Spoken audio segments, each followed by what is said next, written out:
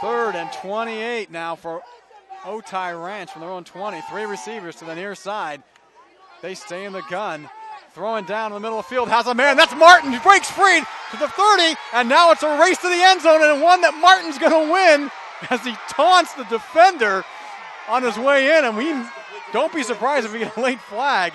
Chris Martin blowing by the secondary on an 80 yard touchdown connection from Hawkins. And at the 408 mark of the third quarter, Otay Ranch finally on the board. Well,